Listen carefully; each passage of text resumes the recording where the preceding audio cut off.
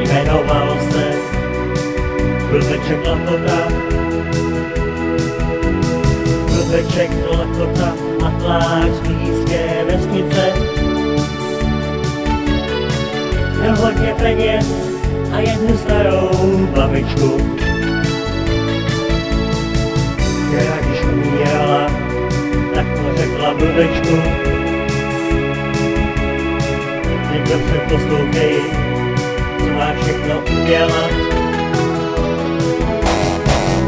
Alabamba, alabamba. Alabamba, alabamba. Alabamba, alabamba. A na